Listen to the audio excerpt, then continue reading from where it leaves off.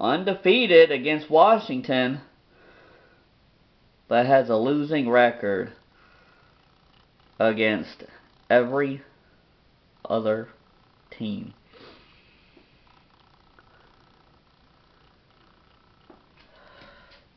Oh, you know, uh, I just keep things 100.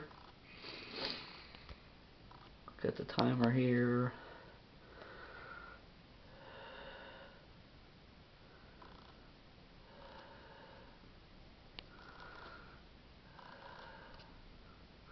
So,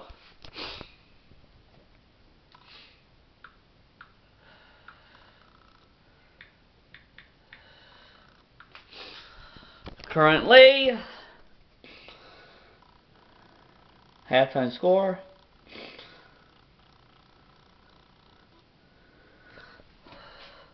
Let me just say this, okay?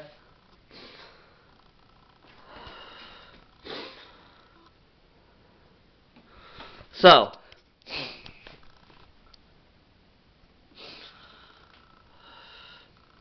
the statistics that I just showed you, that is like Ryan Leaf stats.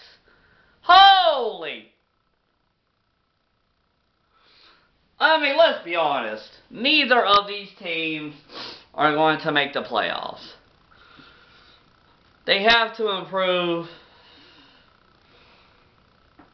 on all cylinders before even being considered playoff potentials. Like, for example, so we got here, let me see. Yeah, the Saints. Bruh! Do you really think the New Orleans Saints are going to make the playoffs this year?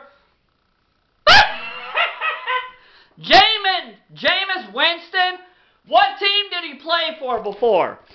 The Tampa Bay Buccaneers.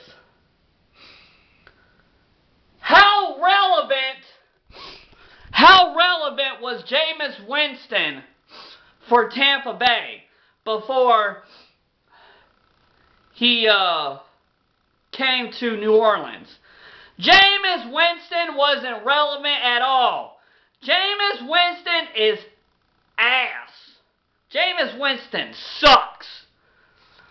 And that's me being generous. If you think Jameis Winston's stats against Green Bay was something, that ain't. The New Orleans Saints are not going to make the playoffs. Meaning the Super Bowl. They are not. I just I just had to put that out there in reference. The New Orleans Saints sucks without Drew Brees. Real talk. Moving along.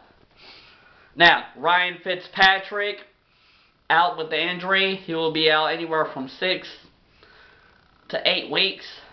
This this game is really is really just a throwaway game. I mean, to be completely honest, because both of these teams need huge, huge improvements to improve to be to, to even be considered playoff potential teams.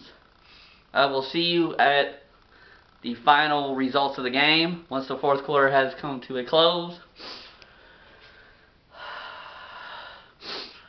Three out of the four teams in this division is 0-1, except for the Eagles.